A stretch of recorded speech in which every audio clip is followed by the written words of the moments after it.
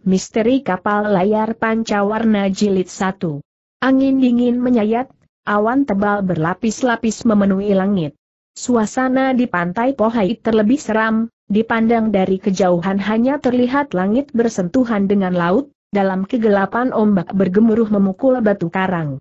Sekonyong-konyong sebatang tiang layar terdampar ke atas karang, prak, tiang layar patah menjadi beberapa bagian, waktu ombak menyurut, Sekilas di dalam laut berkelebat sinar mata yang tajam. Waktu ombak mendampar kembali dan menyurut lagi, sinar mata itu sudah lebih mendekat pantai dan samar-samar kelihatan wajahnya. Bahwa di tengah malam gelap dan dingin, di bawah gemuruh ombak mendampar itu dari balik gelombang laut itu bisa muncul satu orang, hal ini sungguh sukar untuk dipercaya. Namun setelah belasan kali ombak mendampar, akhirnya benar-benar sesosok bayangan orang muncul dari dasar laut, selangkah demi selangkah menuju ke pesisir di samping batu karang. Mendadak petir menyambar dan guntur menggelegar, cahaya kilat berkelebat di tengah gumpalan awan tebal, terlihat bayangan orang itu berambut panjang terurai di pundak dan setengah menutupi wajahnya, kedua tangan menggenggam sebatang pedang panjang berbentuk aneh dan bersarung hitam. Urat hijau tampak merongkol pada punggung tangan orang itu, dia seperti rela kehilangan segalanya daripada melepaskan pedang itu. Melihat gelagatnya, agaknya sesudah kapalnya karam, lalu ia gunakan pedang panjang itu sebagai tongkat dan selangkah demi selangkah ia berjalan di dasar laut dan akhirnya mencapai pantai gemuruh ombak raksasa itu ternyata tidak dapat membuatnya jerat, dan tidak mampu memukulnya mundur. Setelah mendarat, ia melangkah lagi beberapa tindak, lalu ambruk. Tapi sebelum ambruk, tubuhnya tetap menegak, sinar matanya juga tetap kemilau serupa sinar kilat. Malam panjang mulai lalu, gumpalan awan pun mulai menipis, remang subuh sudah mulai menerangi bumi raya ini, orang yang tidur lelap di pesisir itu mendadak melompat bangun, dengan tangan kiri pegang pula pedang panjang itu dengan erat, betapa cepat dan gesit gerakannya sungguh sukar dilukiskan. Namun ia pun tidak mau membuang tenaga percuma, begitu tubuh menegak segera otot daging sekujur badan mengendur, perawakannya kelihatan tidak kekar, tapi dari kepala sampai ke kaki terasa sangat serasi pertumbuhannya, tiada setitik daging lebih. Kulit badannya telah berjemur hingga berwarna kuning legam, sekilas pandang mirip patung perunggu. Kedua alisnya panjang tebal, hidung mancung, usianya seperti baru tahun 1930-an tapi juga serupa mendekati setengah abad. Bajunya belum lagi kering, sekujur badan berlepotan pasir, namun dia tidak mengebutnya, tapi dari dalam baju lantas dikeluarkan satu bungkusan minyak, di dalam bungkusan ada peta yang tertulis dengan sangat jelas, ada pula sejilid buku yang penuh tercatat nama dan alamat orang. Ia asyik membaca sejenak, lalu bergumam, Losan. Hui Ho Bun. Jing Ho Liu Siong, ia simpan kembali bungkusannya, dengan pedang terhunus ia melangkah ke arah barat. Tampaknya dia melangkah dengan lambat, tapi dalam sekejap sudah pergi jauh, hanya tertinggal sebaris tapak kakinya di pesisir, jarak setiap tapak kakinya itu sama dua kaki, biarpun dicetak dengan ukuran juga tak lebih tepat daripada jarak tapak kakinya itu. Jing Ho, si tangan hijau, Liu Xiong, seorang tokoh persilatan di timur Provinsi Soatang, sedikitnya sudah 40 tahun namanya terkenal karena ilmu pukulan Hoa Ho Chiang, ke-17 jurus cakar bangau yang disebut Ho Jiao Cap Jit Chiao, dan Ho Ih Chiam atau jarum bulu bangau, ketiga macam kungfu itu merupakan kepandaian khas andalan Liu Xiong. Sejak Hui Ho Bun atau perguruan si bangau terbang didirikan Liu Xiong, Selama ini dia dihormat dan disegani sebagai seorang guru besar ilmu silat. Rumah keluarga Liu di kaki Gunung Losan cukup luas dan megah. Menjelang maghrib, tiba-tiba datang seorang dari jurusan timur dengan berbaju putih kain belacu, kening sebatas alis memakai ikat kepala kain putih belacu pula, rambut panjang terurai, pedang panjang tersandung pada punggungnya. Nyata orang inilah si tokoh aneh yang muncul dari dasar laut itu entah sejak kapan ia telah berganti pakaian, namun langkahnya tetap tegap, tetap berjarak dua kaki, tidak kurang dan tidak lebih. Dengan kalem ia menaiki undak-undakan batu gedung keluarga Liu, meski daun pintu gerbang sudah tertutup rapat, namun dia seperti tidak melihatnya, ia masih terus melangkah ke depan. Berak, begitu tubuh menyentuh daun pintu tanpa berhenti ia sudah melangkah ke dalam, Daun pintu gerbang yang bercat hitam itu telah bertambah sebuah lubang besar berbentuk tubuh manusia. Sepotong papan yang persis bentuk tubuh orang itu ambruk ke depan, ketika kaki orang itu menginjak papan, seketika papan hancur menjadi bubuk. Air muka si baju putih tidak berubah sedikit pun, daun pintu itu dianggapnya serupa buatan dari kertas belaka dan setiap orang sanggup menerobosnya. Beberapa lelaki kekar yang berada di bawah pohon di dalam halaman sama menjerit kaget menyaksikan kejadian itu, namun si baju putih seperti tidak menghiraukannya, ia tetap melangkah ke depan dan berseru sekata demi sekata. Di mana Liu Xiong?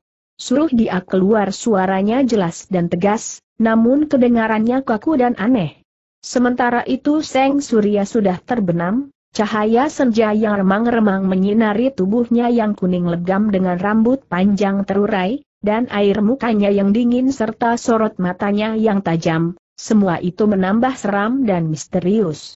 Semua orang sama melongo dan tidak sanggup bersuara, mendadak mereka membalik tubuh dan berlari serentak. Padahal orang-orang ini adalah jago Hui Hobun yang tangguh, biasanya urusan berkelahi, bunuh-membunuh dan mengucurkan darah dipandang seperti santapan sehari-hari, tapi sekarang mereka dibuat ketakutan oleh pendatang ini, sungguh peristiwa yang belum pernah terjadi. Sekonyong-konyong terdengar seorang membentak, ada urusan apa? Kenapa ketakutan suaranya lantang dan menggetar anak telinga orang? Seorang kakek berjubah satin dan berambut putih tampak muncul dari ruangan tengah. Dengan muka pucat beberapa lelaki kekar tadi melapor, Su. Suhu, coba lihat, keparat itu entah, entah setan atau manusia, omong kosong bentak si kakek dengan kening bekernyit. Namun ketika melihat sikapannya si baju putih, tidak urung ia pun terkejut. Segera ia memberi hormat dan menegur, siapakah sahabat ini? Ada keperluan apa ia bicara dengan suara keras menggetar anak telinga, Jelas dia sengaja pamer kekuatan terhadap si baju putih. Siapa tahu, si baju putih seperti tidak mendengar, selangkah demi selangkah ia mendekati si kakek, lalu bersuara, kamu ini Liu Xiong betul, jawab si kakek. Baik, keluarkan senjatamu dan ayo mulai kata si baju putih. Liu Xiong melengak, tanyanya, bilakah sahabat bermusuhan denganku tidak ada jawab si baju putih. Kalau tidak ada permusuhan, Selamanya kita pun tidak kenal, untuk apa kita harus berkelahi tanya Liu Xiong. Habis siapa suruh kamu menjadi guru silat terkenal kata si baju putih. Kembali Liu Xiong melenggong, memangnya asalkan tokoh bulim terkenal pasti akan kau tantang untuk bertempur tersembul senyuman aneh pada ujung mulut si baju putih, ucapnya perlahan, betul, menantang setiap tokoh bulim di dunia ini memang menjadi maksud tujuan kedatanganku ini. Suaranya memang aneh, ditambah lagi senyuman yang misterius, Liu Chong merinding dibuatnya, tapi ia coba menjawab dengan bergelak, hah, hanya dengan kekuatan sendirian hendak menantang seluruh kesatria sejagat, apakah engkau tidak, tidak bergurau air muka si baju putih yang dingin itu tidak memperlihatkan sesuatu emosi, dingin dan kaku serupa patung, tambah ngeri perasaan Liu Xiong, ia terkekeh beberapa kali dan tidak sanggup meneruskan lagi. Nah, lekas mulai ucap si baju putih sekata demi sekata. Sekilas pandang Liu Xiong melihat anak muridnya sudah banyak yang memburu tiba, berpuluh pasang mata sedang mengikuti apa yang terjadi. Liu Xiong tahu tidak bisa tidak harus turun tangan, segera ia tepuk tangan, segera anak buahnya menyodorkan sepasang senjata berbentuk cakar bangau berwarna hitam gelap. Lebih dulu ia katakan kegunaan senjata sendiri, sedikit pun ia tidak mau menarik keuntungan. Kudengar dalam dunia persilatan daerah Tionggoan akhir-akhir ini bertambah lagi 13 macam senjata aneh, Tak terduga pertarunganku yang pertama setiba di sini lantas bertemu dengan salah satu senjata aneh yang dimaksud, kata si baju putih. Silakan memberi petunjuk bentak Liu Xiong mendadak, serentak senjata menyambar lebih dulu dan yang kanan menyambar belakangan, berbareng ia terus berputar dengan cepat. Akan tetapi apa pun gerak serangannya, si baju putih tetap berdiri tegak di tempatnya, sedikit pun tidak bergeser. Bukan saja pedang tidak dilolosnya, malahan seakan-akan terpejam, serupa kaum Hwasyo yang semadi. Selama hidup Jing Ho atau si Bangau Hijau Liu Xiong entah berapa kali bertempur dengan orang dan entah berapa banyak pula jiwa lawan yang melayang di bawah 17 jurus cakar Bangau andalannya ini. Tapi sekarang demi tangan memegang senjatanya yang dingin dan keras ini, tanpa terasa jari pun rada gemetar.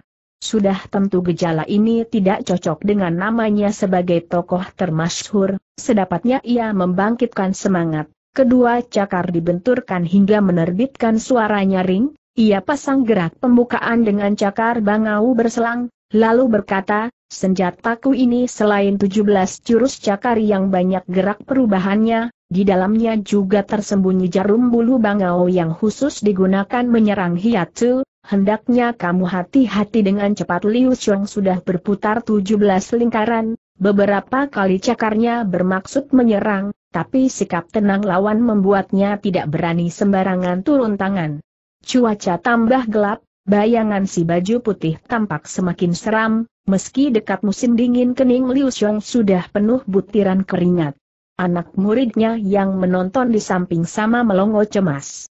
Sekonyong-konyong Liu Xiong bersuit panjang serupa bunyi bangau yang terbang di udara, cakar bangau terpentang, dua jalur hitam gilap berputar cepat, sekali serang tujuh tempat, serentak berbagai hiatsu maut di tubuh lawan diserangnya. Anak murid Hui Bun tahu betapa lihat jurus serangan ini, biasanya tidak pernah meleset dan selalu menang, selagi mereka hendak bersorak, Siapa duga dalam sekejap itu tiba-tiba selarik sinar hijau berkelebat, bayangan kedua orang merapat terus berpisah lagi. Dengan cepat Liu Xiong berputar dan menyurut mundur hampir setombak jauhnya, sebaliknya si baju putih tetap berdiri tegap tanpa bergeming, cuma pedang yang tersandung di punggung sudah dilolosnya, ujung pedang menuding miring ke arah Liu Xiong, tertampak titik darah segar menetes perlahan dari ujung pedang. Hanya sejenak kemudian tubuh Liu Xiong mendadak roboh terjengkang, di tengah kegelapan malam terlihat kedua matanya mendelik, satu garis darah mulai dari kening terus menurun melalui hidung, bibir, tenggorokan hingga dada, garis darah itu tepat di tengah-tengah tubuh dan beberapa senti dalamnya, jelas biarpun dewa turun dari kahyangan pun sukar menyelamatkan nyawa Liu Xiong menyaksikan musuh cuma satu jurus serangan saja sudah menewaskan guru mereka, berpuluh pasang mata anak murid Hui Bun itu sama melotot kaget, tiada seorang pun tahu care bagaimana si baju putih menyerang dengan pedangnya. Saking takutnya semuanya lupa menjerit dan juga tidak tahu apa yang harus dilakukannya. Selang sejenak ujung pedang si baju putih perlahan diturunkan dan tiada tetesan darah lagi. Sinar matanya yang terlebih tajam daripada pedangnya menyapu pandang sekejap kepada semua orang, tertampil senyum ejeknya seakan-akan hendak berkata, Hektometer, kalau cuma kalian saja tidak sesuai bagiku untuk turun tangan, ia terus membalik tubuh dan melangkah keluar pintu gebang, langkahnya tetap tegap dalam jarak tertentu serupa datangnya tadi. Sekonyong-konyong seorang membentak, bangsat, bayar, bayar kembali nyawa guruku. Orang ini adalah murid tertua Hui Hobun, meski hati merasa takut, mana dia dapat menyaksikan musuh pembunuh guru pergi begitu saja, cuma di antara suara bentakannya terasa agak gemetar juga, langkahnya juga kurang mantap. Empat murid Hui Hobun lain yang bernyali lebih besar serentak ikut memburu maju bersama Toa Suheng mereka, kelimanya sudah nekat, sekaligus mereka melancarkan pukulan. Meski beberapa murid Hui Hobun ini bukan jago kelas 1, namun kungfunya juga tidak lemah. Pukulan mereka cukup kuat dan tidak boleh diremehkan. Namun si baju putih sama sekali tidak menoleh, pedang panjang mendadak menyabat ke belakang, di bawah kelebat pedang beberapa kali, terdengar serentetan jeritan ngeri, kelima murid Hui Hobun sama terjungkal dengan luka panjang dari dahi sampai dada. Meski serangan pedang si baju putih sekaligus mengincar lima orang, namun caranya seperti dilakukan dengan lima pedang dan kelima orang terluka berbareng dan menjerit bersama, sebab itulah kedengarannya seperti jeritan panjang. Keruan anak murid Hui Hobun yang lain sama kaget dan beramai ikut memburu keluar. Namun terlihat si baju putih sedang melangkah ke depan dengan tegap, kini sudah puluhan tombak jauhnya, bekas tetesan darah tampak mengikuti bekas kakinya yang berjarak sama itu, kelima kawannya sama terkapar di situ. Nyali semua anak murid Hui Hobun serasa rontok, kaki terasa lemas, mana mereka berani mengejar lagi. Tanpa menoleh di baju putih melanjutkan perjalanan hingga dua tiga li jauhnya, lalu dikeluarkannya peta dan buku catatan, dibacanya perlahan, tanggal 7 Jing Holi Usiong, tanggal 8 Siang Go Antio Jit Hong, tanggal 9 Pat Sian Kiam Li Jing Hong, tanggal 10 Pet Jilpio Kim Tai Hui, tanggal 11 giliran tiba ajal Celem Pok Sam Kong angin dingin meniup, tiba-tiba hujan pun menitik, seakan-akan langit pun ikut berduka bagi malapetaka yang menimpa dunia ini. Tanggal 11 bulan 10, cuaca di kota Celem mendung dan lembab, seperti mau hujan tapi belum hujan. Belasan lelaki kekar berbaju belacu berkabung mengiringi empat kereta jenazah dengan empat peti mati datang dari timur dan menyelusuri jalan raya serta berhenti di depan sebuah gedung yang megah. Delapan lelaki berbaju hitam cepat membuka pintu gerbang dan menyambut kedatangan jenazah dengan kepala tertunduk dan berduka. Peti mati diusung ke dalam rumah terlihat seorang tua berbaju panjang warna hitam, berjenggot panjang, wajah kering dan berdiri diam di depan ruangan. Melihat si orang tua, serentak belasan orang yang membawa peti mati itu berhenti, peti mati diturunkan, serentak mereka berlutut dan meratap, Peklo Pua, mohon sudi mengingat persahabatan dengan guru kami dan sukalah membalaskan sakit hati guru kami, wajah si kakek baju hitam kelihatan kelam Perlahan ia menuruni undak-undakan batu, waktu ia memberi tanda, serentak ada orang membuka tutup peti mati dan tertampaklah empat sosok mayat orang tua, semuanya mati dengan wajah beringas, Matt mendelik murka, jelas pada waktu mendekati ajal penuh diliputi rasa kejut dan gusar. Luka yang menyebabkan kematian mereka juga serupa, yaitu terdiri dari satu jalur luka dimulai dari kening menurun sampai dada. Tutup pintu gebang, jaga ketat. Sembarang orang dilarang masuk, segera si kakek memberi perintah. Beberapa pemuda kekar berpedang mengiyakan dengan hormat dan berlari keluar, pintu gerbang hitam lantas ditutup rapat. Si kakek berbaju hitam berjalan mondar-mandir di halaman, ucapnya dengan menyesal, Jing Holi Usiong, Xiang Go Antio Jit Hong, Pat Sian Kiam Li Jing Hong, Pat Jilpio Kim Tai Hui ternyata tewas semuanya dalam sehari terbunuh secara keji, ai, bila mana tidak menyaksikan sendiri kejadian ini, siapa yang mau percaya? Si kakek baju hitam ini bukan lain daripada pendekar pedang Pek Sam Kong, ketua perserikatan guru silat di Provinsi Soatang. Pek Sam Kong bersama Liu Xiong dan lain-lain adalah sahabat karib sehidup semati, sebab itulah sesudah Liu Xiong dan lain-lain tewas, anak muridnya segera membawa peti jenazah guru masing-masing dan mendatangi Pek Sam Kong serta mohon bantuannya agar membalaskan sakit hati sang guru. Maka terdengarlah suara ramai orang yang penuh tanda tanya itu, mereka sama tukar informasi tentang tokoh aneh si baju putih yang keji itu, tentang tindak tanduknya yang nyentrik dan ilmu pedangnya yang mengejutkan. Kecuali anak murid Hui Hobon yang sempat mendengar beberapa patah kata ucapan tokoh aneh itu, anak murid perguruan lain paling-paling cuma mendengar tokoh itu bertanya, benarkah kamu sih, dan ucapan ayo mulai, selebihnya tidak ada, juga tidak terlihat sesuatu perasaan pada wajahnya, dan begitu bertempur, kecuali kemenangan yang dituju, segala urusan lain sama sekali tidak dihiraukannya. Makin lama makin berat perasaan Pek Sam Kong mendengar berbagai keterangan, ia bergumam, sejurus saja mematikan orang? Kungfu macam apakah itu? Dalam pada itu kedelapan anak murid yang berjaga di luar pintu melihat dari ujung jalan sana muncul seorang berbaju putih.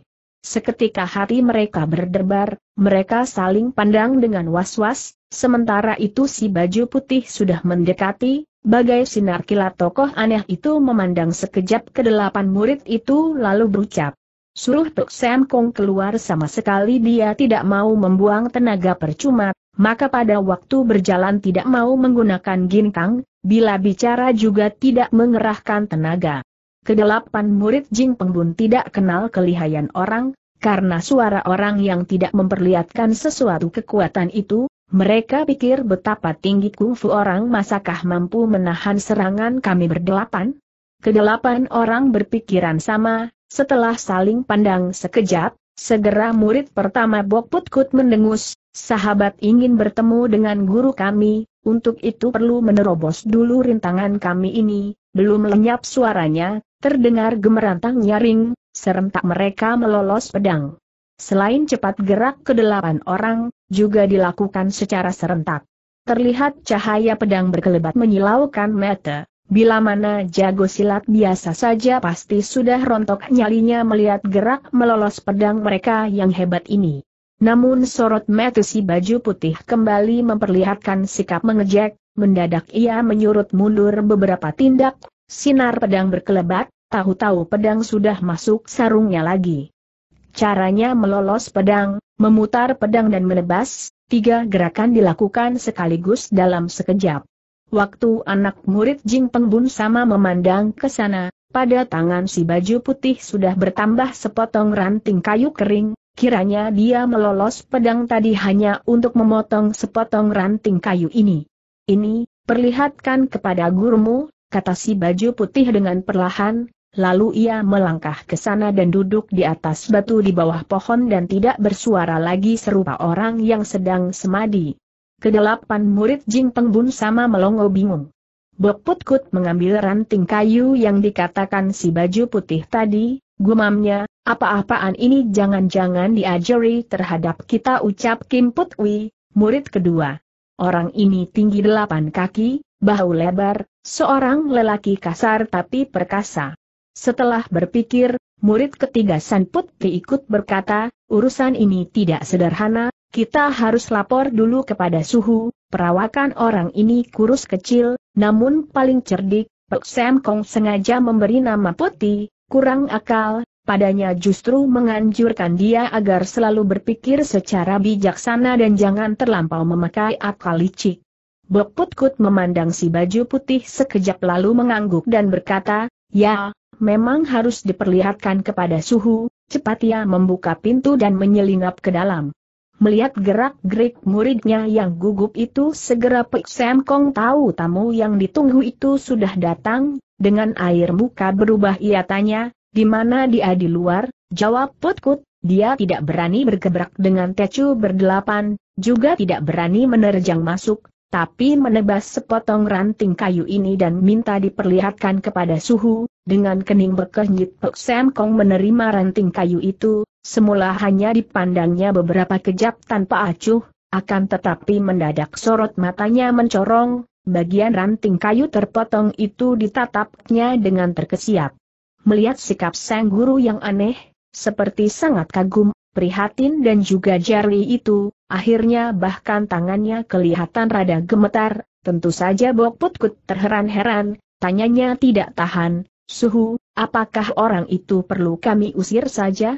Mendadak Pek Sam Kong menarik muka, ucapnya dengan gusar, apakah kalian ingin mampus tapi, tapi, Bok Putkut gelagapan. Dia merasa tidak sudi bergebrak dengan kalian, kalau tidak, mustahil jiwa kalian dapat bertahan sampai sekarang ucap Pek Sam Kong. Bok Putkut menunduk dan tidak berani bicara lagi, namun dalam hati merasa sangat penasaran. Ai, percuma kau belajar silat kalian sekian lama, ternyata punya mata, tapi tidak dapat melihat gelagat, ucap Pek Sam Kong dengan gegetun. Sudahlah, panggil masuk saja para sutemu. Tapi, tapi keparat itu, Bok Putkut merasa sangsi. Jika dia mau masuk, memangnya kalian mampu merintanginya kata Pek Samkong dengan gusar. Ayolah, jika dia mau menunggu berarti tidak perlu khawatir dia akan menerjang masuk kemari.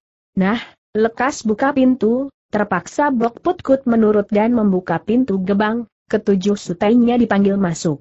Namun si baju putih tetap duduk diam saja di bawah pohon, senyum ejeknya tampak tetap menghiasi ujung mulutnya.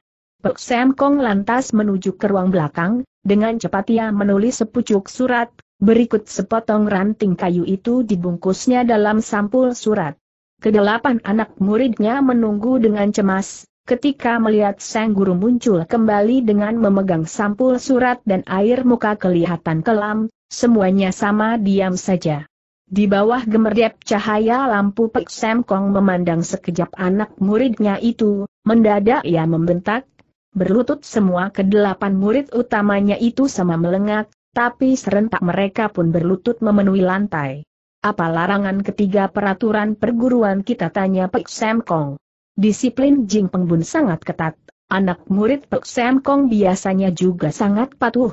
Tanpa pikir mereka sama menjawab, perintah guru laksana gunung, yang membangkang akan terkutuk dengan suara berat Pek Sam Kong berkata pula, pertempuran hari ini, apakah gurumu akan menang atau kalah, yang penting kalian sama sekali tidak boleh ikut turun tangan tapi suhu, Seketika anak muridnya merasa panik.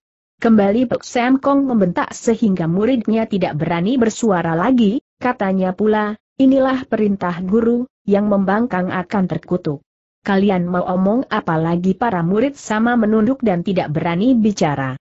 Pokoknya bila hari ini gurumu gugur dalam pertempuran, maka Putkut bertujuh orang hendaknya membagi tugas menuju ke Xiaolin, Butong, Gobi, Tiam Jong, Kong Tong, Hoasan dan Wi Yang Pei. Ketujuh perguruan besar ini ada persahabatan karib dengan kita, tentu mereka akan menerima kalian. Hendaknya kalian belajar lebih giat dan tidak perlu pikirkan urusan lain, hanya, hanya kau saja, sorot matanya tertuju kepada murid kedelapan yang paling memuda, yaitu Oh Puciu, lalu menyambung pula, hanya tugasmu yang terberat, Selanjutnya mungkin kamu sukar hidup dengan tenang, entah kamu sanggup menerima tugas maha berat ini atau tidak tanpa ragu Oh Put Jiu menjawab, sekuat tenaga Tecu laksanakan, Oh Put Jiu ini berkepala besar dan bertubuh pendek, dahi lebar, wajah selalu membawa senyum meski tidak tersenyum. Mulutnya sehari-hari lebih sering digunakan makan daripada untuk bicara. Di antara kedelapan murid utama Jimpeng Bun tampaknya dia paling tidak berguna, namun sekarang Wok Put Kut bertujuh menyaksikan sang guru menyerahkan tugas paling berat kepadanya, tentu saja mereka penasaran. Segera Bok Put Kut berseru, bila ada urusan harap suhu serahkan kepadaku atau Kong Sun Samte, mendadak Pek Sam Kong menarik muka, dampratnya, di sini bukan tempatnya bagimu untuk bicara, lekas menyingkir lalu ia menyerahkan surat yang sudah ditulisnya kepada Oh Put Jiu, katanya pula, jika gurumu kalah dalam pertarungan nanti, hendaklah cepat kau datang ke ruang belakang dan bawalah pergi Poji, datangi alamat menurut apa yang tertulis di atas sampul, serahkan surat dan Poji kepada penerima surat, urusan selanjutnya harus tunduk kepada segala perintahnya, tanpa membaca Oh Put Jiu menerima dan menyimpan sampul surat yang disodorkan sambil mengiyakan. Air muka Pek Sam Kong tampak rada tenang kembali, katanya, setiba di tempat tujuan, kejadian aneh apa yang kau lihat janganlah terkejut. Nah, sekarang juga bolehlah kau berangkat, ia tidak menghiraukan lagi muridnya, diambilnya pedang pribadinya di atas meja, lalu menuju keluar dengan langkah lebar. Ketika melewati keempat peti mati, ia merandek sejenak, perlahan ia meraba peti mati yang terdekat, mendadak ia menengadah dan tergelak, katanya, Hah, seorang pesilat memang harus mati di medan laga, hidup atau mati adalah kejadian biasa, kenapa mesti takut? Di tengah gelak tertawanya ia terus mendekat si baju putih, tegurnya, Anda tidak segan membunuh orang demi menjunjung tinggi ilmu silat, Aku tidak gentar mati bertempur demi menegakkan kebenaran ilmu silat, kita berlain jalan tapi mempunyai tujuan sama, biarpun sebentar kau bunuh diriku juga takkan ku salahkanmu. Perlahan si baju putih berdiri, tiba-tiba ia membungkuk tubuh sebagai tanda hormat. Tentu saja Pek Sam Kong heran, katanya, untuk apa Anda melakukan penghormatan padaku tanpa memperlihatkan sesuatu perasaan si baju putih menjawab, engkau adalah pesilat sejati satu-satunya yang kutemui sejak kedatanganku di daratan sini, adalah pantas ku beri hormat. Oh, terima kasih, kata Pek Sam Kong dengan khidmat. Nah, mulai kata si baju putih singkat. Seret, segera Pek Sam Kong melolos pedang, sarung pedang dilemparkan, ujung pedang lurus ke depan setengah terangkat, katanya, silakan begitu kata silakan terucap, seketika suasana berubah sunyi senyap, Meski para penonton berpuluh orang jumlahnya, namun tiada seorang pun bersuara, bernapas pun tidak berani keras, andaikan jarum jatuh pun terdengar. Segera Jing Pengkiam Kek, si pendekar pedang santai Pek Sam Kong mengangkat pedangnya, Matt menatap tajam pada ujung pedang, mendadak pedang menebas ke depan.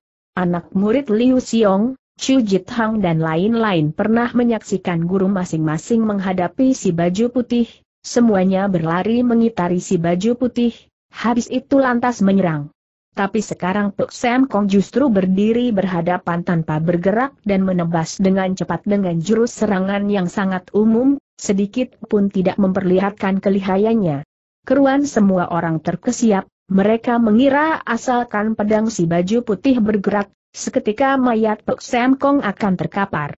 Siapa tahu jurus serangan yang sangat umum itu justru membuat si baju putih menyurut mundur selangkah, sama sekali tidak balas menyerang. Segera Pek Sam Kong mendesak maju, pedang berputar kembali, suatu tebasan lurus ke depan dilancarkan lagi. Dengan cara yang sama si baju putih juga lantas menyurut mundur pula. Tentu saja anak murid Liu Xiong dan lain-lain sama heran dan bingung, pikir mereka, Meski guruku melancarkan jurus serangan paling liai, tidak urung dalam satu jurus saja terbunuh oleh musuh. Padahal jurus serangan Jing Penggiam Kek tiada sesuatu yang berarti, entah mengapa si baju putih ini malah terdesak mundur mereka tidak tahu bahwa dua jurus serangan Pek Sam Kong yang sangat umum itu sebenarnya mengandung gerak ikutan yang sangat rapat untuk bertahan, sebab dari rekan-rekannya yang menjadi korban keganasan musuh diketahui lukanya dimulai dari kening menurun ke dada. Maka dia mencurahkan perhatiannya untuk menjaga rapat bagian kening. Kini si baju putih terdesak mundur dua kali, seketika semangat Pek Sam Kong terbangkit, sekali pedang berputar, jurus ketiga lantas dilontarkan lagi. Anak murid Pek Sam Kong yakin serangan ketiga sang guru ini tentu jauh lebih lihai daripada serangan yang lalu dan bukan mustahil musuh dapat dirobohkan. Maka begitu sinar pedang berkelebat, serentak mereka bersorak memberi semangat. Siapa tahu, baru saja suara sorak mereka bergema, sekonyong-konyong cahaya perak menyilaukan menyambar dari belakang si jubah putih, terdengar suara kering perlahan, Selarik sinar hijau meluncur ke sana dan krak, menancap di batang pohon, itulah setengah potong pedang, sedang pedang yang dipegang Pek Sam Kong tahu-tahu tersisa setengah potong, bahkan kelihatan dia menyurut mundur dengan sempoyongan sambil berucap dengan meringis, sungguh heb, belum sempat kata hebat terucapkan ia lantas roboh terjengkang dengan kening berlumur darah. Pedang panjang yang dipegang si baju putih tampak bergetar, Darah segar menitik dari ujung pedangnya, sorot matanya yang dingin menatap titik darah yang menetes, rambutnya yang panjang terurai bertebaran tertiup angin, sikapnya kelihatan kaku dingin menambah seram suasana. Semua orang sama melenggung sekian lama barulah ada orang menjerit, Boput-kut bertujuh lantas menubruk tubuh sang guru yang menggeletak tak bernyawa lagi dan menangis sedih.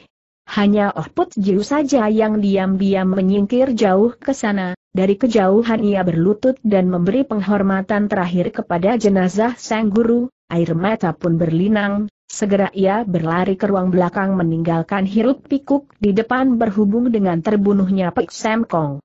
Suasana di halaman belakang hening dan kelam, keramaian di depan sama sekali tidak memengaruhi ketenangan di ruang belakang.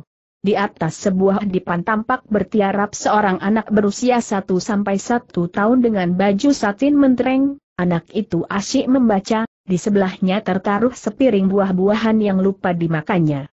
Waktu Oh Put Jiu berlari tiba, pada punggungnya sudah bertambah ransel, melihat anak yang sedang membaca itu, segera ia menegur, Poji, berulang ia memanggil tiga kali, namun anak itu seperti lagi memusatkan perhatian pada buku yang dibacanya sehingga sama sekali tidak mendengar. Oh Put Jiu menghela napas, ia mendekat dan menarik lengan anak itu. Baru sekarang anak itu mendongak, ucapnya dengan kening berkernyit, air, orang lagi asyik membaca, untuk apa kau ganggu diriku?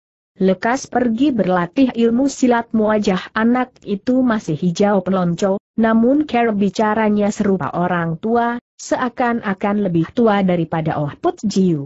Eh, gua kongmu, kakek keluarmu, menyuruhku membawamu pesiar keluar, masa kamu tidak senang ucap Roh Put Jiu dengan suara lembut.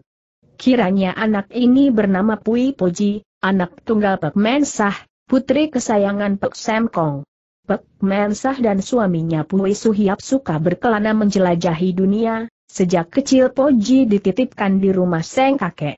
Anak kecil umumnya tentu akan kegirangan bila mendengar akan diajak pesiar, namun Pui Poji justru menggeleng kepala dan menjawab, tidak, aku tidak mau habis bicara kembali ia asyik membaca. Oh Put Jiu kenal watak anak ini agak kepala batu, bahkan banyak tipu akalnya dan suka berbuat aneh-aneh, siapa pun bila ingin memaksa dia melakukan sesuatu yang tidak disukainya, maka akibatnya pasti akan cari susah sendiri. Tiba-tiba ia mendapat akal, katanya, kata orang kuno, membaca selaksa kitab, menempuh jalan selaksali. Tapi kamu cuma baka melulu, masakah kamu tidak mau pesiar keluar untuk mencari pengalaman Poji mendengak pula sambil berpikir, katanya kemudian, EHM, betul juga ucapanmu. Baik, kuikut pesiar keluar bersamamu, tapi kan perlu juga berbenah seperlunya baru berangkat. Oh Put Jiu khawatir anak itu takkan tahan menyaksikan kejadian sedih di ruangan depan sana, maka ia sengaja berolok-olok, huh, seorang lelaki sejati sekali bicara berangkat harus segera angkat kaki, hanya orang yang suka omong kosong saja pakai berbenah segala muka Pui Poji tampak merah, ucapnya kurang senang, baik, boleh berangkat sekarang juga. Asalkan kau berani pergi, ke mana pun aku berani nah, inilah baru lelaki sejati, ujar Roh Put Jiu dengan tertawa. Baik, mari ikut padaku segera Oh Put Jiu membawa Poji keluar melalui pintu belakang. Meski dalam hati cemas dan gelisah, namun terpaksa Oh Put Jiu bersenda gurau dengan anak itu. Meski sudah dekat musim dingin, tapi setelah menempuh dua tiga li jauhnya, Poji telah mandi keringat, mendadak ia berhenti dan berkata dengan serius, Paman Kepala Besar, tampaknya engkau bersifat serupa anak kecil, kalau bekerja sesuatu hanya memikirkan diri sendiri tanpa urus orang lain. Mestinya kau tahu orang biasa sekolah dan membaca, mana dapat berjalan cepat serupa kalian melihat anak kecil yang berlagak orang tua dan mengomeli dirinya, sama sekali Oh Put Jiu tidak merasa geli, sebaliknya malah timbul kasih sayangnya, pikirnya, ayah bunda anak ini entah ke mana perginya, satu-satunya anggota keluarga terdekat, yaitu kakeknya sekarang. Ai, jika bukan aku siapa lagi yang akan menjaga dia segera ia menuding sebuah warung di kejauhan dan berkata, jika kamu lelah, bolehlah kita istirahat dulu di sana, nah, Seharusnya sejak tadi kau katakan demikian, ucap Poji. Setiba di warung tepi jalan itu barulah Oh Put mengeluarkan surat yang diterimanya dari Pek Sam Kong itu, ia pura-pura mau kencing dan menyingkir untuk membaca surat itu. Dilihatnya pada sampul surat itu tertulis, supaya dibaca oleh Put Jiu. Cepat ia membuka sampul dan membacanya, ternyata isi surat itu berbunyi, Put Jiu, Waktu surat ini kau baca, tentu gurumu sudah binasa di tangan musuh. Ketika kulihat bagian ranting kayu yang terpotong segera ku tahu ilmu pedang orang ini beberapa kali lebih hebat daripadaku, tokoh bulim zaman ini pun tidak ada yang sanggup menandinginya. Menurut pengakuannya, kedatangannya ke daratan sini bermaksud menempur setiap tokoh persilatan terkemuka, dari ilmu pedangnya yang ganas agaknya hatinya diliputi dendam kesumat dan pasti tak kenal ampun terhadap siapa pun. Apabila tokoh dunia persilatan Tionggoan tidak ada yang mampu mengalahkan dia, maka sukar diramalkan entah berapa banyak jago terkemuka yang akan binasa di bawah pedangnya. Musibah segera akan tiba, gurumu tidak boleh melarikan diri di garis depan, maka aku sudah bertekad akan gugur sebagai pesilat, sayang aku tidak mampu membela kaum sesamanya menghindarkan malapetaka ini, jalan satu-satunya adalah menyuruhmu ke pantai timur, intai di sepanjang pantai, asalkan melihat kapal besar berlayar pancawarna, hendaknya dengan jalan apa pun kamu harus berusaha naik ke atas kapal tersebut dan serahkan ranting kayu dalam sampul kepada nahkoda kapal itu. Tentu kamu akan ditanya, maka bolehlah kau ceritakan apa yang terjadi, sama sekali tidak boleh bohong. Lalu boleh kau tunggu jawabannya. Hanya nahkoda kapal pancawarna itulah satu-satunya orang di dunia ini yang ada harapan akan dapat menaklukkan tokoh aneh si baju putih. Usahamu inilah satu-satunya jalan untuk menyelamatkan dunia persilatan, hendaknya kamu bertindak hati-hati dan tugas harus terlaksana dengan baik. Ingat, jangan lengah. Melihat tulisan tangan yang sudah sangat dikenalnya, Oh Put Jiu jadi terkenang kepada wajah sang guru, saking sedihnya air matanya berlinang. Mendadak terdengar suara Pui Po Ji menegurnya dari belakang. Paman kepala besar, kenapa engkau tidak duduk dan minum dulu? Ai, dasar pesilat sedapatnya Oh Put Jiu menahan air mata, ucapnya dengan tersenyum sembari berpaling, Memangnya kenapa kalau pesilat wajah Poji yang masih polos dan kekanak-kanakan itu mendadak timbul semacam merasa duka orang dewasa, ia menunduk dan tidak bicara lagi. Dengan kening bekernyit Toh Put Jiu menukas, melihat gerak-gerikmu, memangnya selama hidupmu takkan belajar silat lagi? Sesungguhnya apa sebabnya Poji menghela napas, ucapnya, biar ku katakan juga engkau takkan paham. Ayolah berangkat diam-diam ia membatin dengan menyesal, urusan sudah telanjur begini, biarpun kamu tidak mau belajar silat juga tidak boleh lagi, segera ia ambil ancang-ancang jurusan, lalu menuju ke pantai timur.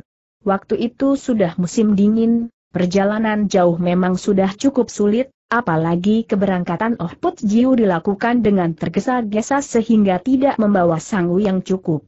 Maka belasan hari kemudian, sisa uang dalam sakunya sudah tersisa tak seberapa. Menurut perkiraan Oh Put Jiu, sisa sangu itu mungkin dapat bertahan hingga mencapai pantai timur, tapi entah kapan baru dapat menemukan kapal layar pancawarna itu, bagiku tidak menjadi soal hidup sehematnya, tapi Poji masih kecil, mana ia tahan menderita.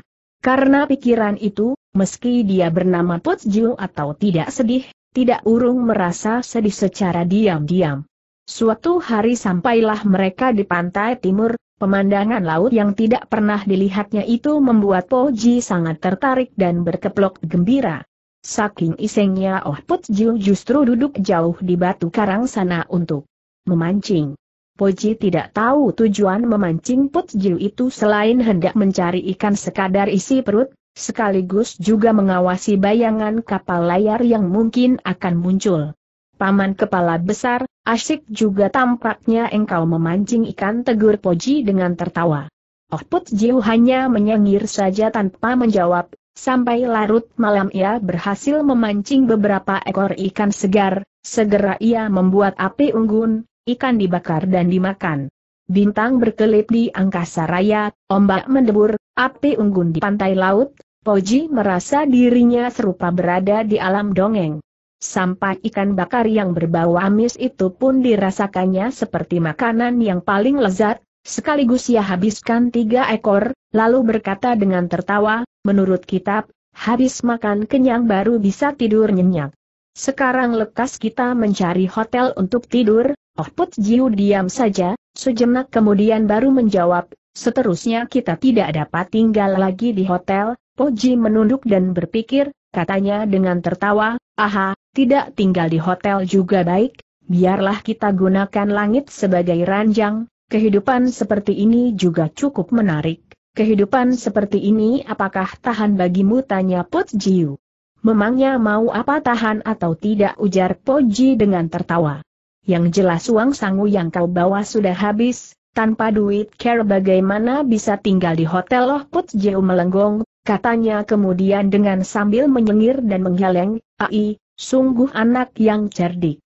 Bila bicara denganmu, terkadang aku tidak percaya kamu ini baru anak yang berusia dua belasan, di sinilah manfaatnya orang bersekolah dan banyak membaca, maka aku, belum lanjut ucapan Pui Poji, mendadak dilihatnya muka Oh Put rada berubah dan mendesis, SSST, ada orang datang.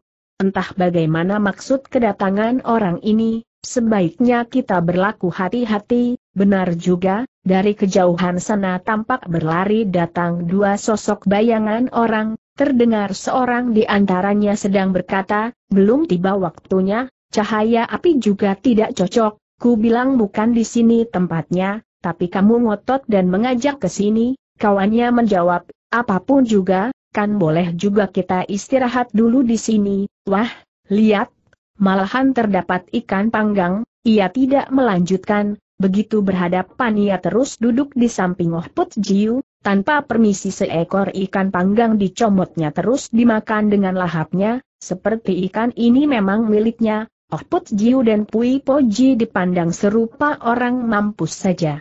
Sama sekali tidak dihiraukan. Meta Peji mendulik, tegurnya dengan gusar, Hei, kawan, hendaknya tahu sopan sedikit.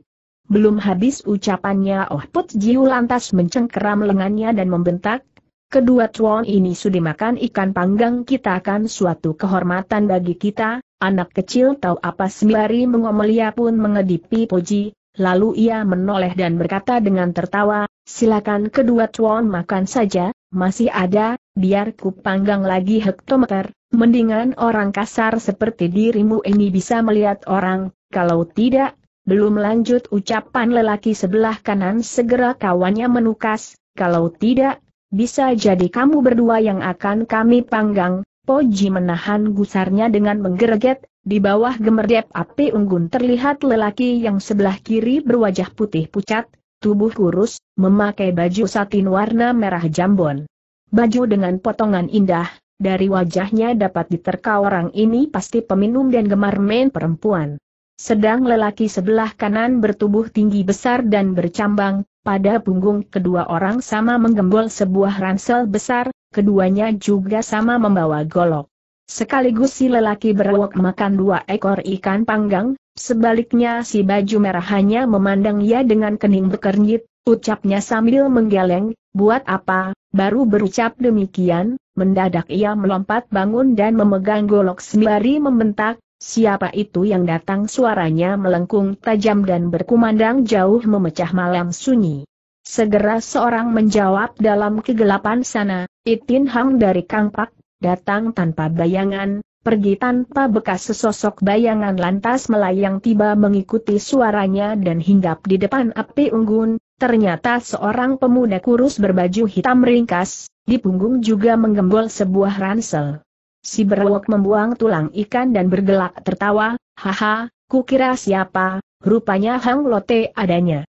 Eh, mari, mari, silakan duduk dan makan ikan panggang pemuda baju hitam terkekeh, Jawabnya, dari jauh kulihat cahaya api, semula kusangka lengkong Sin Hwe, api ajaib neraka, maka ku susul kemari, siapa tahu kalian Piu dan Hao berdua saudara yang berada di sini, air muka si Jambon yang pucat kelihatan tambah pucat, desisnya, jangan-jangan Hang Heng juga menerima Sin Bokleng, perintah kayu sakti, dan mengantar sesajen ke sini ia bicara sambil celingukan seakan-akan khawatir didengar orang. Ya, kemarin dulu ku terima Sin Bokleng, jawab si baju hitam dengan tertawa.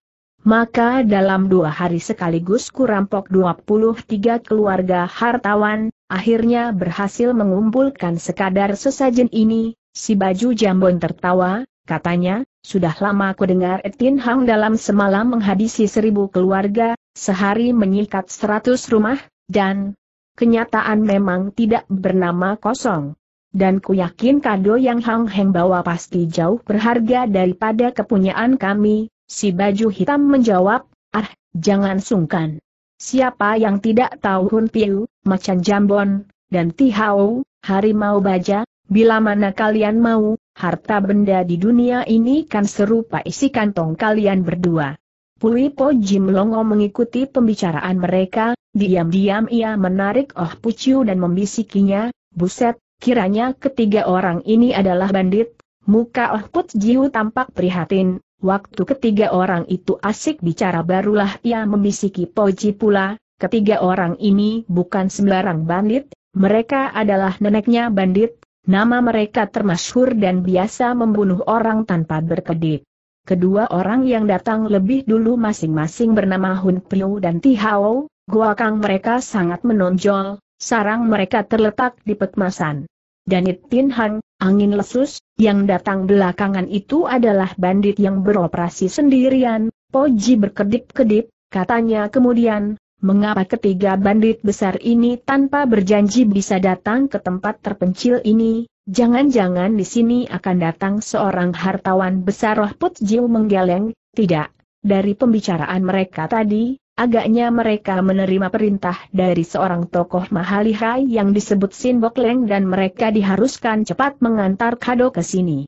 Tentunya mereka telah diberitahu akan menggunakan cahaya api sebagai tanda, Sebab itulah ketika melihat cahaya api unggun kita, ketiga orang ini lantas memburu ke sini, siapa tahu mereka salah alamat.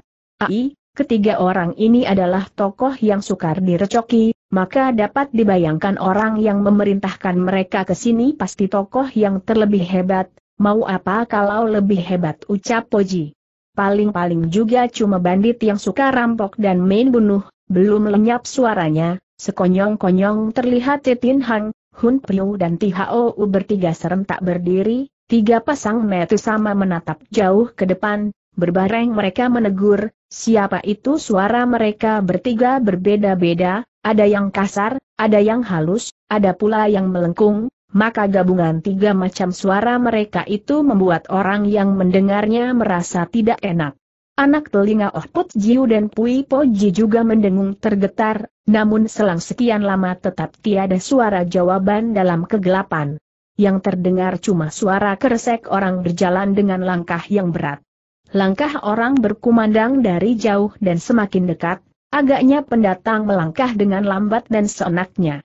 Seketika ketiga orang yang duduk di tepi api unggun menjadi tegang, seret, Tihou lantas melolos golok dan membentak, Siapa itu yang datang, jika tetap tidak bersuara, jangan menyesal bila kami, di tengah bentakan dari kegelapan sana sudah muncul sesosok bayangan, ternyata seorang perempuan tua gemuk pendek, rambutnya putih seluruhnya dan hampir mendekati botak, berbaju longgar dari kain kasar, anehnya bajunya penuh saku, sedikitnya ada belasan buah. Tangan memegang tongkat panjang yang hampir sekali lebih panjang daripada tubuhnya.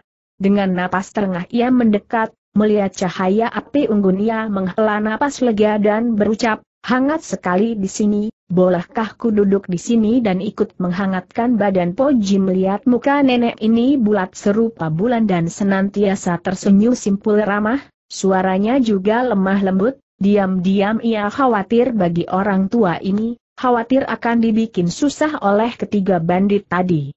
Siapa tahu Hun Priu bertiga tetap diam saja, bahkan demi melihat perempuan tua ini mereka pun terkesiap dan melenggong.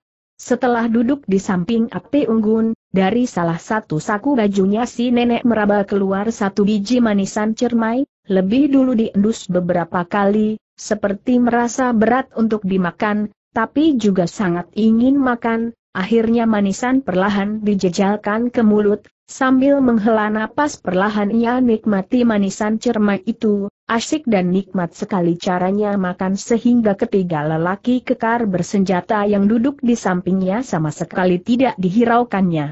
Itin Hang bertiga saling pandang beberapa kali, mendadak mereka sama berlutut dan menyembah dengan wajah kejut dan takut, sampai sekian lama mereka bersujud dan tidak berani menegak. Si nenek tetap anggap tidak melihat kelakuan mereka, sekaligus ia habiskan tiga biji manisan cermai, lalu dikeluarkan lagi sepotong siopia dari saku lain, seperti tadi, lebih dulu diendus-endus, habis itu dengan rasa berat baru, dimakan dengan nikmat.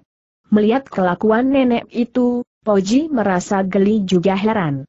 Ia geli karena belasan saku baju si nenek ternyata berisi penganan dan jajanan melulu. Ia terkejut melihat ketiga bandit besar yang biasanya membunuh orang tanpa berkedip itu ternyata sedemikian hormat dan jeri terhadap nenek rakus ini, entah apa sebabnya.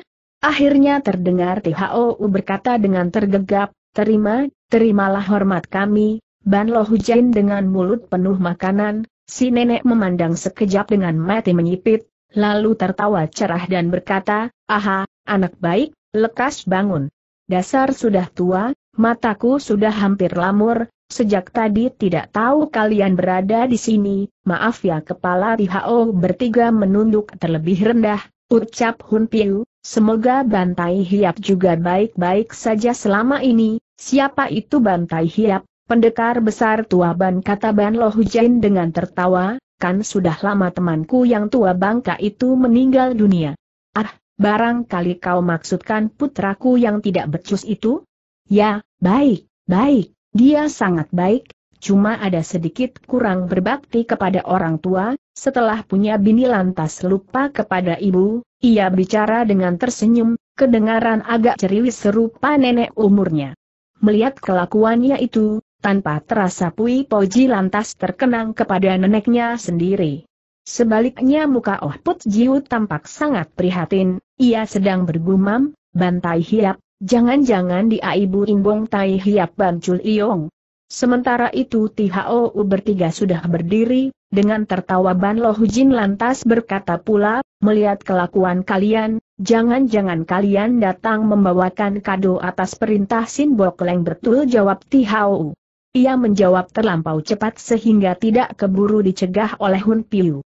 Ai, pemilik Sin Bok Leng itu sungguh hebat sekali, ucap Ban Lo Hujain dengan menghela napas, meski sudah menghilang sekian tahun, namun wibawanya sebagai ketua perserikatan masih tetap bertahan, begitu dia memberi perintah, cepat-cepat kalian bertiga mengantar hadiah baginya. Sesungguhnya hadiah berharga apa yang kalian antar untuk dia, bolehkah kulihat Tin Hang bertiga saling pandang sekejap, tertampil rasa sulit mereka. Masa kulihat saja tidak boleh ucap Ban Lo Hujan pula dengan suara lembut. Jika, jika Ban Lo Hujin menghendaki demikian, mana kami berani menolak, kata Hun Piu dengan gugup. Serentak mereka bertiga membuka ransel masing-masing, isi ransel berserakan di tanah. Seketika pandangan menjadi silau oleh gemerlap batu permata sehingga cahaya api unggun pun kalah terang. Itin Hang melirik isi ransel sendiri dan menampilkan rasa bangga. Sebaliknya Hun Piu cepat membungkus kembali ranselnya. Ban Loh Hujin, kata Tihou dengan tertawa. Menurut penilaian Loh Hujin, apakah hadiah yang kami bawa ini cukup memenuhi syarat Ban Loh Hujin tersenyum, katanya, barang seperti ini jika dipersembahkan kepada raja mungkin masih bolehlah, tapi, tapi apa tanya Tihou? Tapi jika hendak dipersembahkan kepada pemegang simbol keleng itu, kukira tidak cukup, tutur Ban Lo Hujan perlahan. Kalimat yang pertama membuat Tin Hang merasa puas dan senang, tapi kalimat kemudian serupa air dingin yang menyiram mukanya dan membuat rasa senangnya berubah menjadi rasa kecut. Masa tidak cukup? Hadiah yang kami bawa ini tidak memadai THO menegas dengan terbelalak. Ban Lo Hujan menggeleng, katanya, ya, tidak cukup, kecuali, kecuali hadiah kalian bertiga digabung menjadi satu sebagai hadiah seorang saja. Kalau tidak, bila pemegang Sinbok Leng marah, wah, bisa runyam, ia ambil sepotong permen kacang dan dimakan pula dengan nikmatnya dengan mata, terpejam tanpa memandang Hun Priu dan lain-lain lagi. Serentak Hun Priu bertiga meraih ransel masing-masing dan menyurut mundur satu tindak, Mendadak Itin Hang tergelak dan berseru, wah, jika demikian. Anjuran Ban Lo Hujin, kan lebih baik barang yang kalian bawa itu diberikan padaku saja dan tentu aku akan berterima kasih padamu. Sialan, kamu berani mengincar barang kami damprat THOU dengan gusar. Itin Hang menyeringai, katanya, bukan maksudku mengincar barang kalian, tapi kalian tentu tahu, lebih baik kubunuh kalian daripada bersalah kepada pemegang simbol kleng, kentut, jawab THOU dengan gusar. Boleh coba saja, apakah kamu dapat membunuh kami atau kami yang akan mampuskan dirimu? Di tengah bentakannya golok THOU dan Hun Priu lantas terhunus, Itin Hang tidak tinggal diam, senjata andalannya, yaitu tombak berantai juga segera disiapkan. Ban Lo Hujin tetap duduk tenang di tempatnya, tetap dengan tersenyum ramah sambil menikmati jajanan yang dibawanya. Semua ini dapat disaksikan Oh Put Jiu dengan jelas, diam-diam ia membati nenek yang kelihatan lemah lembut dan welas asih ini sungguh sangat licin dan keji, hanya beberapa patah kata saja dia sudah dapat mengadu domba Tin Hong bertiga dan ia sendiri tetap tenang saja. Karena mengemban tugas berat, Oh Put Jiu tidak berani ikut campur urusan orang, ia cuma menonton saja tanpa ikut bicara. Tak terduga, baru saja ia berpikir begitu, tiba-tiba Pui Poji berseru, eh, nenek, bukankah kedatanganmu juga hendak mengantar kado kedua Matsuban lo hujan terbuka sedikit. Ucapnya dengan suara halus, anak sayang, kau bilang apa oh, tidak ada apa-apa, jawab Poji dengan tersenyum dan menggeleng. Namun ucapan Poji itu justru menggugah pikiran Tihao bertiga, mereka terhitung tokoh Kangou yang sudah berpengalaman, seketika mereka pun menyadari maksud tujuan si nenek. Mestinya Hun Priu akan menyerang, tapi segera diurungkan, ia tergelak dan berseru, aha, sungguh lucu dan menggelikan-menggelikan. Dan apa yang lucu tanya Ti Hao. Memang betul, tukas Etin Hong. Kita ini sungguh sudah keblinger, sama sekali tidak ingat bahwa kedatangan Ban Lo Hujan ini juga untuk memenuhi perintah Sin Bok Leng, sampai kita harus diingatkan oleh seorang anak kecil, kan lucu dan menggelikan ya, cuma kedatangan Ban Lo Hujan ini agak tergesa-gesa dan tidak membawa kado, sambung Hun Piu, sebab itulah dia sengaja mengadu domba kita agar kita sama menggeletak dan Ban Lo Hujan dapat mengambil barang kita untuk dijadikan kadonya, Sembari bicara mereka bertiga sudah berdiri berjajar dengan senjata terhunus sambil menyurut mundur. Ban Lo Hujin menghela napas perlahan, ucapnya lembut, Ai, ucapan kalian terasa sangat merendahkan diriku. Coba kalian lihat apa ini dari sebuah sakunya ia mengeluarkan serenceng kalung mutiara warna ungu gelap, setiap biji mutiara itu sebesar gundu. Sudah sekian lama Tihao bertiga berkelana di dunia Kangou dan banyak melihat benda mestika aneh, namun belum pernah terlihat mutiara sebesar ini dan berwarna ungu gelap seperti ini. Dengan sendirinya mereka sangat tertarik dan ingin lebih jelas, tanpa terasa mereka sama melangkah maju. Mutiara kristal ungu seperti ini, cukup satu biji saja sudah merupakan mestika yang sukar dicari, apalagi serenceng kalung, umpama dipersembahkan kepada Raja Akhirat juga akan diterimanya dengan senang hati, demikian kata Ban Lo Hujin.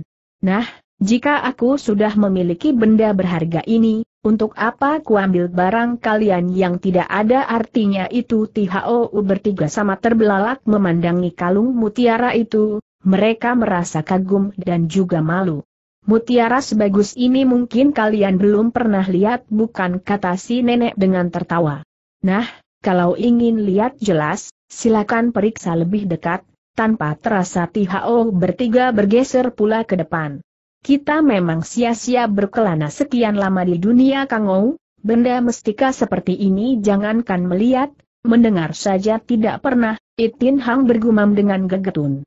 Belum habis ucapannya, Sekonyong-konyong kalung mutiara yang dipegang Ban Lo Hujain berputar dan berubah menjadi berpuluh larik sinar hitam dan menyambar ke depan, mengincar berbagai hiatsu Tihao bertiga.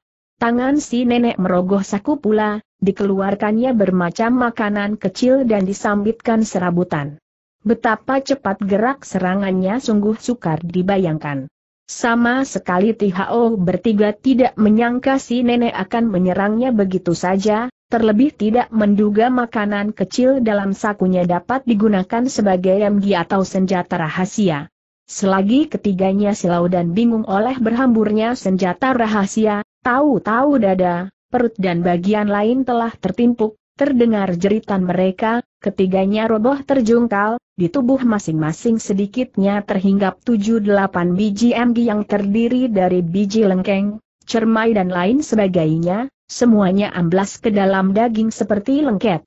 Hanya Tihou saja yang bertubuh tinggi besar, dia tidak mati seketika, dengan suara parau ia sempat berteriak, engkau sudah, sudah punya mutiara ungu sebanyak itu, buat apa, buat apa mengincar barang kami, ai, anak bodoh, di dunia ini mana ada mutiara ungu ucap Ban Lo Hujin sambil menggeleng.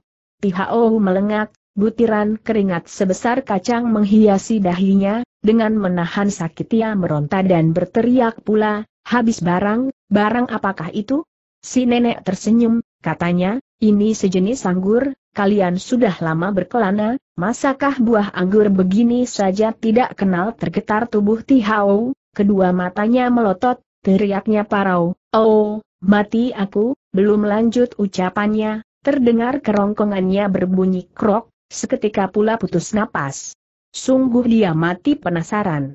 Memandangi mayat mereka, dengan suara lembut Ban Lo Hujain berucap, Ai, sayang, sungguh sayang Poji terkesima menyaksikan semua kejadian itu, sekarang ia pun mendongkol demi mendengar gumam si nenek, pikirnya, kalau sayang, kenapa kau bunuh orang? Didengarnya Ban Lo Hujain berucap pula dengan menyesal, Sayang barang makananku sebanyak ini terbuang percuma oleh ketiga manusia tak becus ini, dengan tongkatnya ia mendekati ketiga sosok mayat itu, ia berjongkok dan mengorek keluar semua makan kecil yang terjepit di tubuh mereka itu, digosoknya makanan itu pada baju mereka untuk menghilangkan noda darah, lalu sebiji demi sebiji dimasukkan kembali ke dalam saku.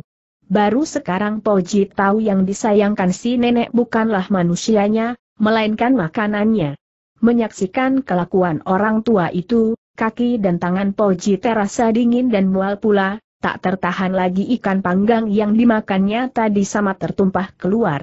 Karena ucapan Poji tadi, semula Oh Put Jiu mengira anak itu akan menimbulkan malapetaka, tapi kejadian selanjutnya berlangsung dengan cepat dan membuatnya terkesima juga. Sekarang ia baru saja menenangkan diri, pada saat si nenek berdiri menghadap ke sana, cepat ia angkat poji yang sedang tumpah itu terus hendak dibawa kabur. Siapa tahu, baru saja ia bergerak, tahu-tahu Ban Lo Hujin sudah berdiri di depannya dengan gelak tertawa, katanya sambil menuding Poji, ini anak siapa? Sungguh pintar dan cerdik, Oh Put Jiu tidak menjawab, Sekali berputar segera ia melompat ke arah lain dan segera hendak lari pula. Tapi baru saja ia geser tempat, tahu-tahu si nenek mengadang lagi di depannya dan menegur dengan tertawa, untuk apa kau lari?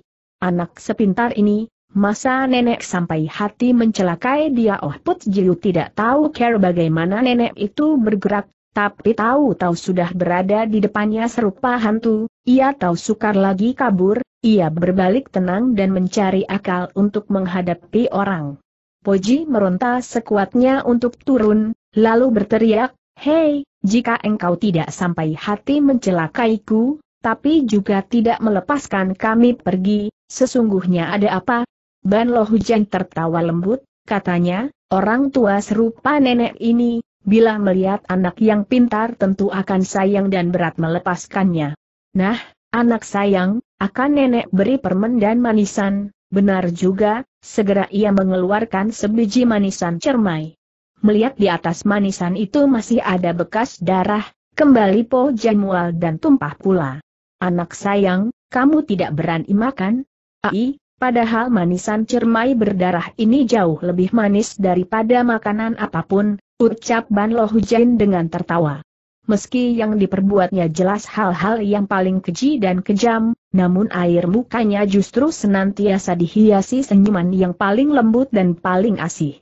Poji terus mendamprat, perempuan siluman tua bangka, nenek kejam, makhluk tua bangka, pada suatu hari akhirnya darahmu pasti juga akan diminum orang serupa air teh, Oh Put Jiu tidak menyangka anak ini bernyali sebesar ini sehingga berani mencaci maki nenek yang memandang nyawa manusia serupa mainan anak kecil ini, keruan ia ketakutan. Segera ia bermaksud memburu maju untuk membelanya, tapi lantas terpikir sesuatu, segera ia duduk malah di tanah seperti tidak ada yang perlu ditakuti lagi, sedikit pun tidak khawatir bagi anak itu.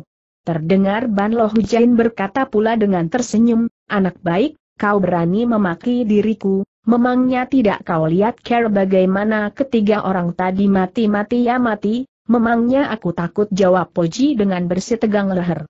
Ai, anak bodoh, ucap si nenek dengan gegetun.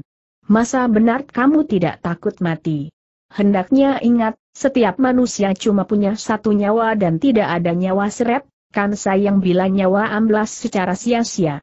Ai, jika nenek membuatmu merasakan bagaimana orang yang mati tidak dan hidup pun tidak, nah, kamu baru tahu betapa berharganya nyawa, mendadak ia turun tangan, sekaligus tiga hiatu di tubuh Poji ditutuknya, lalu dikempitnya anak itu. Waktu ia menoleh, dilihatnya Oh Put masih duduk tenang dengan tersenyum, sedikit pun tidak khawatir atau cemas. Biarpun licik dan licin, melihat sikap Oh Put Jiu itu mau tak mau nenek itu terheran-heran, tanyanya dengan tertawa, Hei bocah kepala besar, apakah kau datang bersama anak kecil ini betul? Jawab Oh Put Jiu dengan tertawa. Perlahan Ban Loh Hujin membelai rambut Pui Poji, ucapnya lembut, sekali anak ini kubawa pergi, apakah kau kira dia akan pulang menemuimu dengan hidup kukira takkan begitu, jawab Roh Put Jiu dengan tertawa. Jika begitu, kenapa sama sekali kamu tidak cemas tanya pula si nenek. Put Jiu menjawab dengan tersenyum, jika dia kau bawa pergi, tentu ada orang yang akan mencarimu untuk minta kembali anak itu bila kau bunuh dia, dengan sendirinya juga ada orang akan menuntut balas padamu. Untuk apa aku merasa cemas menuntut balas padaku kata Ban Lo Hujain dengan tertawa. Ha, nenek kriot macam diriku memang sudah bosan hidup dan kuharapkan ada orang akan mencariku untuk membalas dendam. Paling baik kalau aku dapat dibunuhnya agar aku tidak hidup merana sendirian di dunia fana ini. Cuma sayang, Ai, selama berpuluh tahun ini, tidak sedikit orang yang mati di tanganku, sebaliknya tiada seorang pun berani menuntut balas padaku. Orang lain tidak berani, orang ini pasti berani, ucap Put Jiu dengan santai. Hahaha, jika kau pun kubunuh sekalian, siapa pula yang tahu bagaimana nasib anak ini di tanganku seru si nenek dengan tergelak. Huh, anak kepala besar seperti dirimu ini tampaknya pintar, Kenapa urusan kecil ini tidak kau pikir roh Put Jiu tersenyum, tambah acuh sikapnya, katanya, orang lain mungkin tidak tahu, tapi orang ini pasti tahu. Jika engkau tidak percaya, boleh saja kau coba, wah, caramu bicara, orang itu kau gambarkan sedemikian sakti, aku justru ingin tahu sesungguhnya tokoh macam apakah orang yang kau maksud itu mendadak. Oh Put Jiu berdiri, dengan hati-hati ia mengeluarkan potongan ranting kayu itu, katanya, orang itu memotong ranting ini dengan pedangnya, boleh coba kau periksa, si nenek menerima ranting kayu itu dan diamat-amati ke tepi api unggun, setelah memandang beberapa kejap, air mukanya yang semula tersenyum mendadak lenyap, lalu timbul rasa kejut dan jeri, ucapnya dengan parau, siapakah gerangan yang memiliki ilmu pedang setinggi ini? Jangan, jangan ke, betul, ialah Gerosik Bang nah koda kapal layar panca warna tukas put jiu dengan hambar. Ban Lo Hujin menyurut mundur dua langkah, mendadak ia lepaskan Pui Poji, dengan kedua tangan ia kembalikan ranting kayu itu kepada Oh Put Jiu, bibirnya bergerak seperti mau bicara, tapi urung. Sekali tongkatnya mengentak, tubuhnya yang bunta itu terus melayang miring ke udara, hanya beberapa kali berkelebat dalam kegelapan, lalu menghilang. Melihat orang sudah pergi jauh, segera Oh Put Jiu memburu ke arah Peji, tapi baru melangkah ia lantas sambruk. Kiranya ia tahu dirinya bukan tandingan si nenek, dalam keadaan putus asa ia mendapat akal, yaitu coba menggertak si nenek dengan nama nahkoda kapal layar pancawarna dengan memperlihatkan bekas tebasan pada ranting kayu itu. Put Jiu memang cerdik, ia menduga pada bekas tebasan ranting kayu itu pasti terdapat tanda ilmu pedang yang maha tinggi dan mungkin dapat membuat gentar si nenek. Usahanya ternyata berhasil, demi melihat ranting kayu itu, seketika terunjuk rasa Jerry Ban Loh Hujin. Ia tidak tahu dunia persilatan Tionggoan baru saja kedatangan seorang jago pedang berbaju putih dari lautan timur, maka dengan sendirinya yang terpikir adalah nahkoda kapal layar pancawarna, ditambah lagi Oh Put Jiu lantas menyebut nama nahkoda itu, kontan nenek itu dibuat ketakutan dan cepat kabur. Pada lahirnya saja Oh Put Jiu kelihatan tenang, padahal dalam hati juga sangat khawatir bila mana usahanya gagal, saking ketakutan hingga kedua kaki sama lemas. Maka begitu ia memburu maju seketika ia jatuh terduduk. Cepat ia merangkak bangun lagi, Poji diangkatnya terus dibawa lari cepat beberapa li jauhnya, habis itu barulah ia berani berhenti. Di tengah malam gelap terlihat tempat ini adalah sebuah lereng bukit kecil, sekitar penuh batu padas tandus, dalam kegelapan malam terasa seram. Oh Put Jiu mencari sebuah gua karang yang agak tinggi dan coba menyusup ke situ, lalu dibukanya Hiat Supoji yang tertutup.